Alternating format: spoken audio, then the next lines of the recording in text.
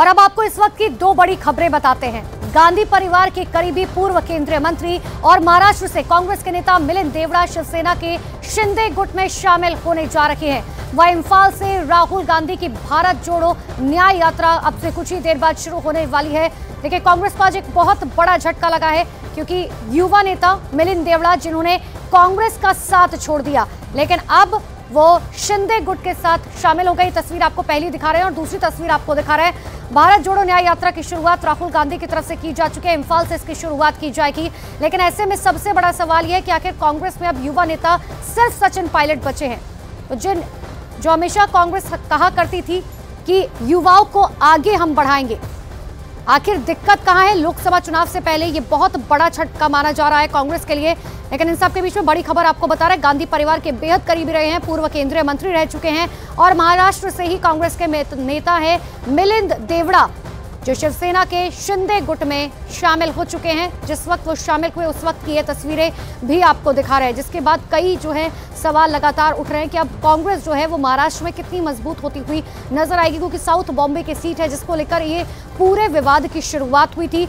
मिलिंद जो है, शिवसेना में शामिल हो चुके हैं। लेकिन अब सबसे बड़ा सवाल यह कि क्या शिवसेना उन्हें साउथ बॉम्बे की वो सीट देगी? क्योंकि उनकी वो परंपरागत सीट रही है साथ ही उनके पिता भी जो है वो इस सीट से चुनाव लड़कर चार बार जो है जीत चुके हैं।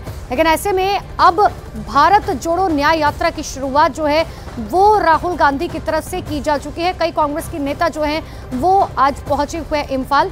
जहाँ से भारत जोड़ो न्याय यात्रा की शुरुआत जो है की जाएगी। इससे पहले आपको याद होगा, राहुल गांधी भारत जोड़ो यात्रा भी जो है कर चुके हैं। किस तरीके से साउथ के अलग अलग इलाकों में जाके जो है उन्होंने भारत जोड़ो यात्रा की शुरुआत की थी, जिसकी अलग अलग तस्वीरें भी हमें देखने को मिली थी, जिस पर भारतीय जनता पार्टी की तरफ़ से लगातार हमला बोला गया था और अब भारत जोड़ो न्याय यात्रा की शुरुआत जहाँ राहुल गांधी की तरफ़ से कर दी गई है। लेकिन भारतीय जनता पार्टी की तरफ़ से साफ़ तौर पर कहा जा रहा है कि राहुल गांधी की मार्केटिंग जो है सिर्फ़ ये की जा रही है, इससे कोई फ़ायदा नहीं होने वाला।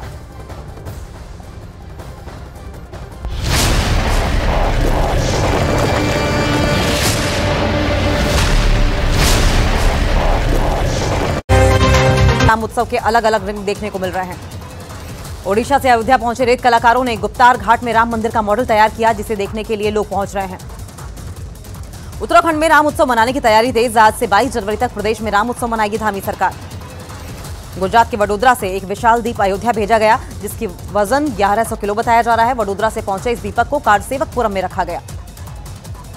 छत्तीसगढ़ के कांकेर में एक पेंटर ने दीवार पर बनाया एक हज़ार फीट की प्रभु राम की तस्वीर। प्रदेश भर में रामलला की प्राण प्रतिष्ठा को लेकर उत्साह। छत्तीसगढ़ के रायपुर में रामलला की प्राण प्रतिष्ठा को लेकर बाजारों में बढ़ी रौनक। भगवान राम से जुड़े सामान की बड़ी डिमांड।